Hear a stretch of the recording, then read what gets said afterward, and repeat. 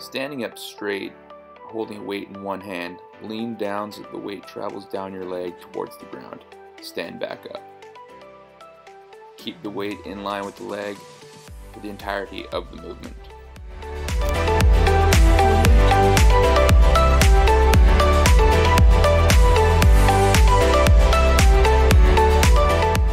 Thank you for watching.